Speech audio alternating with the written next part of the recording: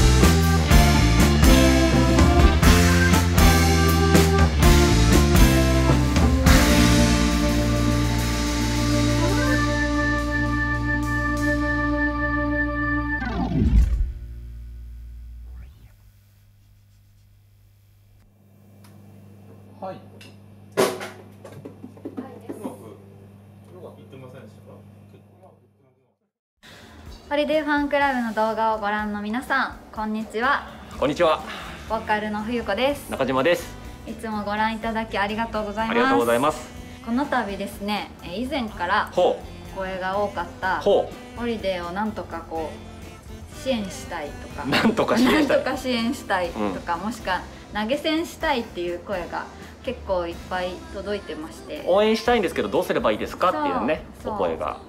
っていう声にね向き合って真剣に、うん。でそれで作ることにした。はい。その形を。はい。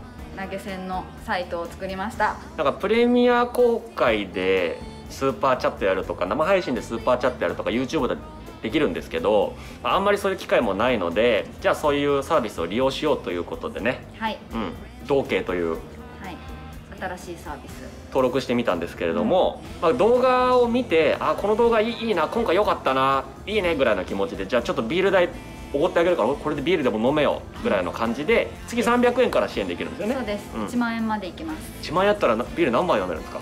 私は洋服代にします。洋服代にする、はい。洋服だったら1着だけどビールだったら何本も飲めるよ。確かに。揺れ揺れてる。弱い。